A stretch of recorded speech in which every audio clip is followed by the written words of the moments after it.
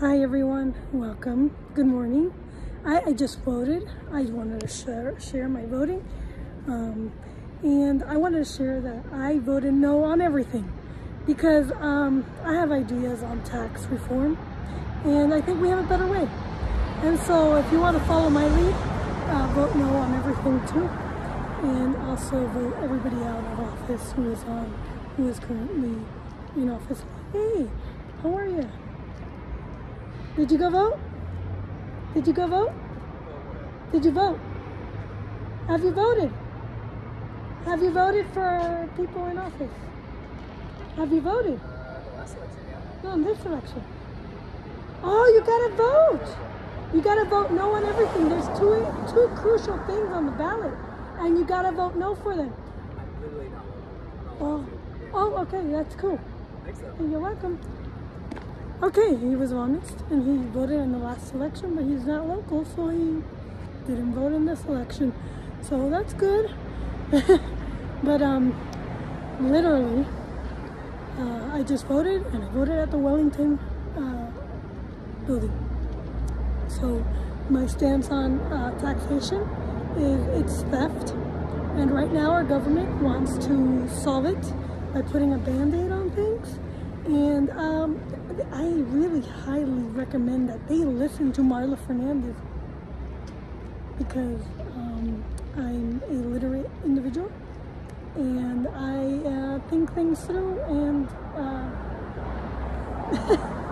I just have to say that um, vote no for everything, everything. And vote people who are in office out of office because your duty is to vote and fire people. Um, that is your duty. You're, it doesn't matter whether they're Republican or Democrat.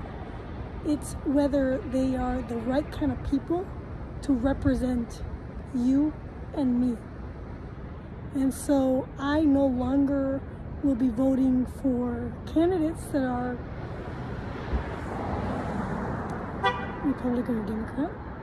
I'm going to be voting for candidates that actually are for representing people.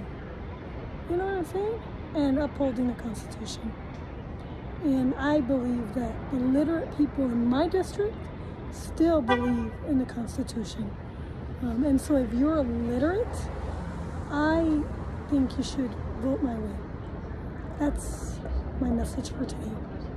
And um, have a great day and I look forward to sharing more information with you on my YouTube. Anyways, um, oh, I have to tell you a story. So I was walking over um, this way to the to the Wellington Webb building, and there was a man with his dog, and the dog was friendly, and he told me, you know, he's a dog, he's friendly.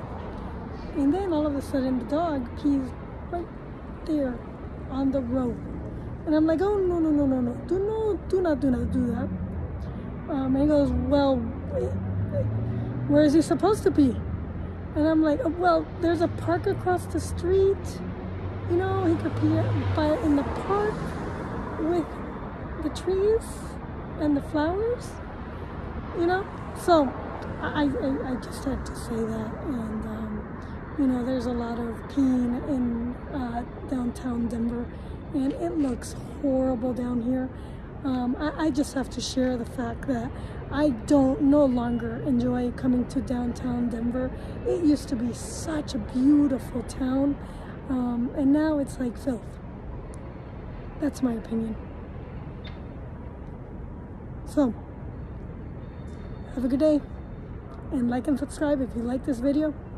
It was just a quick video to let you know my thoughts on voting. Bye. So vote no on everything you see on the ballot. And you know, vote people who are in office out of office. Unless they're conservative.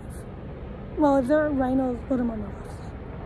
But if they're progressives, please vote them out of office. Because they're the ones ruining our state. Yeah, I blame the progressives. They've been ruining our country for a hundred years. And I'm just tired of it. I'm just glad that I woke up recently and I'm able to make a difference.